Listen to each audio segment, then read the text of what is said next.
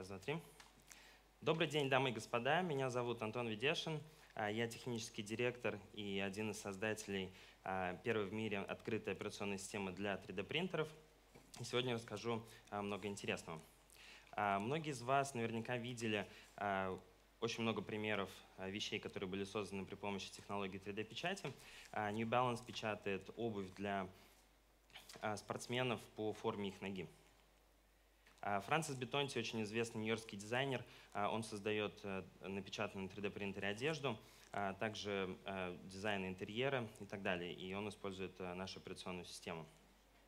В удаленных месторасположениях достаточно важно получать модели, вернее, объекты очень быстро и без затрат на логистику. Сейчас посылают 3D-модели в космос по e-mail, чтобы там можно было распечатать Boeing и Airbus а, печатают части турбины для повышения эффективности и безопасности двигателей самолетов. Но печать не так проста, как а, нам бы этого казалось. То есть, скажем, ваш ребенок не сможет подойти к 3D-принтеру, нажать всего лишь одну кнопку и распечатать любой объект. В данный момент это не так легко. Для этого необходимо быть как минимум инженером в этой области и также знать ограничения данной технологии. Если у вас есть идея, а, то, по сути, весь процесс от идеи до физического объекта а, состоит из множества приключений, скажем так, а, и достаточно много различных проблем, с которыми люди сталкиваются. То есть нужно создать 3D-дизайн, используя Solid Modeling – то есть не, скажем, обычные какие-то CAD-программы, а более профессиональные. А, следующим этапом нужно сделать так, чтобы а, эта 3D-модель а, печаталась для достижения высокого качества, потому что не все модели печатаются, я позже это объясню. Дальше нужно подготовить к производству эту модель, то есть нужно задать очень много различных характеристик, температур, выдавливания материала, чего угодно, то есть достаточно много разных параметров – а, который нужно правильно поставить. И, разумеется, нужно найти 3D-принтер, а, на котором распечатать. А, очень много есть фирм и мест, где это можно сделать, но все они отличаются между собой, и нужно знать точно, что вам необходимо. И, разумеется, вся цепочка, она то есть на протяжении всей цепочки вам необходимо сохранить свою интеллектуальную собственность, то есть ваши права на детали и так далее, потому что он может быть вашим продуктом, э, который выйдет на рынок. А, приведу э, простой пример из жизни. Я решил сделать э, держатель для наушников проводов. Это такая маленькая штучка. И я думал, что у меня уйдет минут 15-20 на все это дело. При всем при том, что у меня уже был опыт работы с Solid Modeling и печати на 3D принтере. А у меня ушло 6 часов, и основные проблемы были с тем, а, чтобы а, сделать стенки, скажем так, немножко мягкими или сгибаемыми, именно в тех местах, где мне это нужно, а не в произвольных. Существует очень много банков 3D моделей, откуда можно скачать модель и распечатать. И, например, мои коллеги они решили попробовать а, распечатать деталь для велосипеда. А, что на самом деле было тоже достаточно интересно, потому что вместо просто обычной распечатки им пришлось а, печатать 20, 30, 40 раз, потратить в общей сложности более 160 часов для того, чтобы получилась реальная педаль, на которую можно встать, на которую можно проехаться, а не просто, скажем, оболочка, которая рассыпется при первом же нажатии.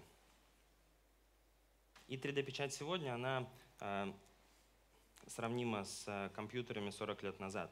То есть очень много э, необходимо тратить, э, э, использовать людей для того, чтобы обслуживать принтеры и так далее. Не существует каких-либо единых платформ.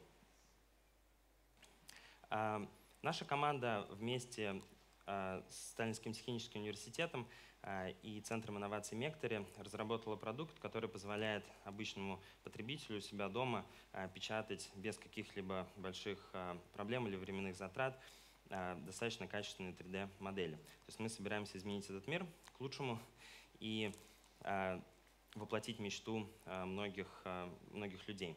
То есть использование 3D-принтера, чтобы было достаточно легким. Была создана открытая операционная система для 3D-принтеров, которая, по сути, объединяет по всему миру 3D-принтеры в единую сеть, и люди смогут, даже не имея дома 3D-принтер, распечатать на каком-либо принтере сети. Также там есть достаточно большое количество различных тулов для того, чтобы можно было подготовить 3D-модель к печати,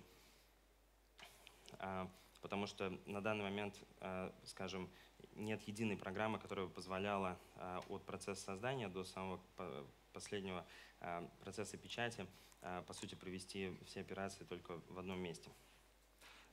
Также мы объединяем различные маркетплейсы или банки 3D-объектов, и, разумеется, все это делается с защитой интеллектуальной собственности и, по сути, как бы без копирования деталей.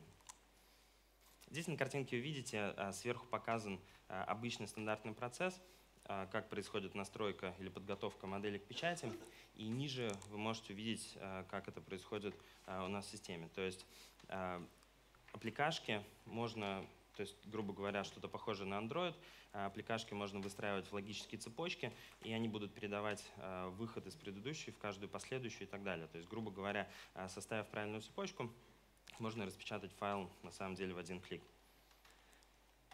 И система настолько проста, что даже 7-8-летние дети могут э, в пару э, нажатий на экран э, распечатать желаемую 3D-модель. Один из единственных способов, как можно узнать, что что-то пошло не так на домашних 3D-принтерах, это, по сути, сидеть, скажем, рядом или периодически на него смотреть и проверять, что все ли идет так, как планируется. А, что на, на самом деле достаточно утомительно. Поэтому мы а, разработали а, такую вещь, как Live View, то есть можно в реальном времени следить что, за тем, что происходит на принтере, скажем, с мобильного телефона или с компьютера, если вы находитесь где-то далеко от 3D принтера, хотя бы даже дома, а принтер стоит в офисе. На рынке 3D оперируют, э, разумеется, очень много э, различных э, фирм, которые уже десятилетиями производят 3D-софт. Лицензии обычно очень дорогие, сами программы достаточно, достаточно сложны в использовании для обычного потребителя. Также, как я уже говорил, что нет единой программы, где можно было бы сделать все. Что делаем мы? Мы, по сути, стараемся объединить все эти программы на одной платформе, Э, для использования для, скажем, обычного рядового потребителя. Э, здесь вы видите э, стандартную вещь, где-то 85% всех 3D-моделей в мире, они не предусмотрены для печати на 3D-принтерах, хотя изначально, казалось бы, есть все и замоделировано и в 3D.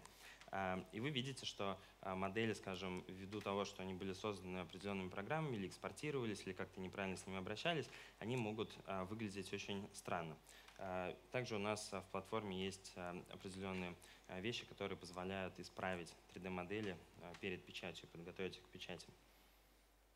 Также очень важно, интересный пример, скажем, если вы представите себе 3D-модель дома, которая 100 на 100 метров, и если мы его уменьшим до до размеров 10 на 10 сантиметров, и изначально, скажем, э, толщина стены дома была полметра, то на уменьшенной модели э, толщина стенки будет в районе 50 микрон, что на самом деле достаточно сложно напечатать на домашнем принтере.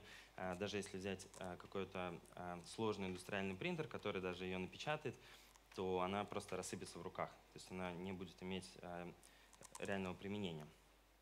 Поэтому часть э, вещей, которые а, мы делаем, это а, автоматические алгоритмы для утолщения, скажем, стенок и для изменения 3D-объекта таким образом, чтобы он был печатабельный, его можно было им потом пользоваться. Также 3D-принтеры требуют достаточно много, скажем так, нахождения рядом. Им нужно помогать, проталкивать пластик, еще что-то.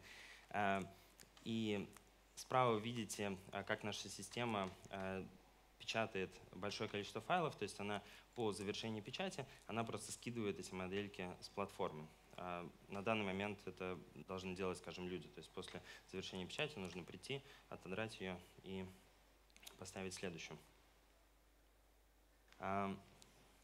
Достаточно важный аспект — это интеллектуальная собственность, защита интеллектуальной собственности. И так как 3D-принтеры становятся более доступными и скоро появятся в каждом доме, скажем так, скопировать и много-много раз распространять одну и ту же модель станет достаточно легко. И это одна из таких больших проблем, которые, которую предстоит решить в будущем, и которую мы пытаемся решить сейчас. Наша платформа позволяет авторам делиться или отправлять на печать 3D-модели таким образом, чтобы, что можно было указать количество штук, которые мы позволяем распечатать. То есть человек не может бесконечно много копировать одну и ту же модель, скажем, бесплатно или не заплатив за нее. Сейчас я расскажу, почему это важно, и потом я расскажу, как, как мы решили эту проблему. Значит, в эру бумаги, скажем так, скопировав чертежи какого-либо продукта, людям требовались бы до двух лет для того, чтобы подобрать технологии, найти завод, где производить, обучить людей, найти инженеров, персонал. И, по сути, они тогда смогли бы, скажем, скопировать чей-то продукт или украсть чью-то интеллектуальную собственность. В цифровую эру, когда уже появились компьютеры, CAD-дизайны, то есть можно, скажем, сделать 3D-модель, но в данном случае 3D-модели в основном использовались для, а, скажем так, замеров, для высчитывания различных параметров, для симуляции и так далее. То есть напрямую а, из этих 3D-моделей не а, воспроизводились детали. И где мы находимся сейчас, это эра 3D-печати, где достаточно высокие риски появляются. То, что, по сути, получив на руки вот эту печатаемую 3D-модель, а, которая в себе содержит все настройки, необходимые для ее производства, а, достаточно буквально ну, до двух дней. То есть, по сути, тот, кто украл 3D-модель, он может выйти на рынок а, даже быстрее, чем та фирма, которая оригинально создала этот продукт. И многие фирмы этим, этим обеспокоены. Например, если взять Lego, то в будущем, скорее всего, их бизнес-модель превратится в что-то такое, что, грубо говоря, они будут продавать интеллектуальную собственность или авторские права на какие-то э, наборы конструкторов, но, скажем, не продавать э, физические пластиковые детальки. И обычные потребители смогут печатать их у себя дома. И к 2018 году Гартнер предсказывает, что потери от 3D-печати в сфере интеллектуальной собственности будут более 100 миллиардов долларов ежегодно что достаточно большая сумма. И мы разработали специальные алгоритмы, которые а, позволяют а, не украсть 3D-модель по пути на 3D-принтер. А, скажем так, многие фирмы, многие фирмы хранят и печатают 3D-модели, используя жесткие носители, например, USB-накопители, SD-карты и так далее, посылают по e-mail, что очень небезопасно. А, безопаснее использовать стримы, то есть потоковую передачу данных, а, но эти поток, потоки должны быть тоже безопасными и зашифрованными, а само шифрование должно быть достаточно хорошим, чтобы его было не взломать. Сейчас я объясню, почему, скажем, не подходят обычные стандартные способы, которые уже используются десятки лет в сфере видео и аудиоиндустрии грубо говоря, если человек слушает музыку или, или смотрит фильм, если пропустить, э, скажем, одну секунду звука или э, убрать несколько кадров, то, в принципе, ничего трагического не произойдет. То есть человек будет смотреть дальше, возможно, его такой experience будет подпорчен. Но в случае с 3D-принтерами мы не можем, грубо говоря, упустить из этого стрима даже одного байта, потому что это дорогое оборудование и, скажем, это точно повлияет на результат. А, в то же самое время, скажем, если в этом стриме подменить какие-то данные, а, в случае с видео и музыкой, ну, человек и обыватель, он, в принципе, сразу поймет, что что-то пошло не так, и все, ничего тоже не произойдет. А в случае же с 3D-принтерами, а, скажем так, я думаю, что никто из находящихся в зале не хотел бы оказаться на самолете, при печати турбины которого, скажем, хакер подменил какие-то строчки вот в этом потоке, который шел на 3D-принтер. А, то есть, по сути, а, стандартные технологии не подошли, нам пришлось придумать что-то совершенно новое, инновативное, которое а, защищало бы 3D-дизайн, идущий на 3D-принтер. И, по сути, мы создали такую такие алгоритмы, которые даже квалифицируются для военных, то есть можно абсолютно безопасно передавать данные со стопроцентной доставкой. И немножко объясню, как это работает.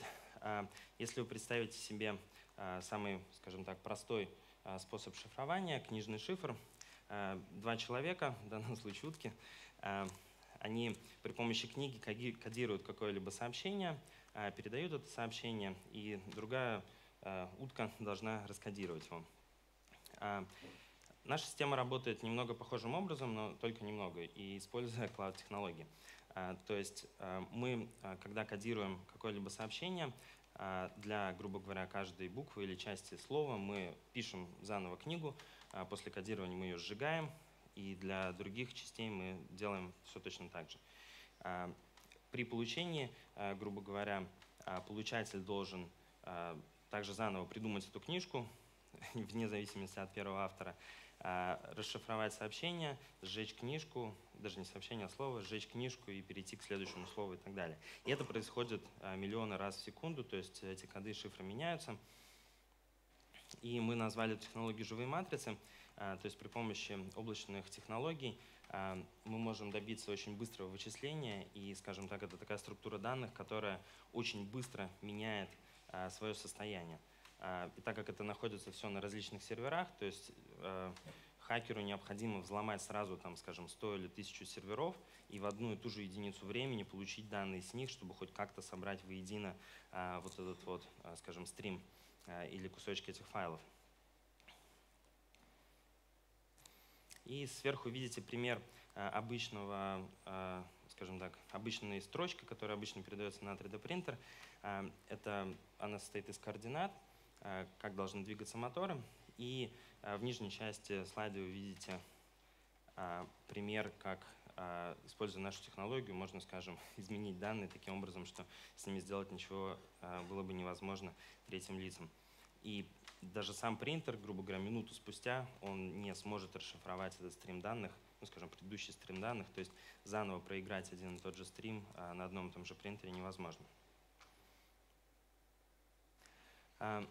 А, если мы хотим развивать 3D-печать, если мы хотим, чтобы принтер стоял а, у каждого дома, а, и мы развивали эту технологию не с точки зрения ученых а, и инженеров, а, а с точки зрения обычной повседневной жизни, обычного потребителя, а, нам нужно знать, как а, технология 3D-печати будет согласовываться с текущим, скажем, ритмом жизни, с обычными навыками людей и так далее. И когда-то этот путь прошли люди с компьютерами, создавая первые операционные системы для компьютеров. Мы хотим повторить этот путь и повторить его для 3D-принтеров, сделать печать простую и легкую, для обычного человека, не имеющего каких-то больших навыков. А, и этот путь пройдут, скажем, не только ученые, но и каждый из нас. Спасибо.